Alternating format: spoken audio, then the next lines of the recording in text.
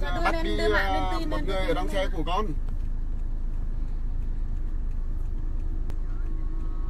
con đang đi à, công chuyện con đi ngang qua Diễn Châu à, đoàn Diễn Châu đó chán á để con báo cho cha biết bởi vì lâu nay những cái việc mà chúng con hoạt động thì cha đều đúng thật, mình chủ quan quán và can thiệp. thì bây giờ cái việc này thì mà nó sao? con mình chủ quán tại vì lúc đầu mình đã xác định có người theo dõi rồi mà lúc đầu công an nó nó nó tịch coi là mình vẫn mở Bắt kia đấy là cơ động mà.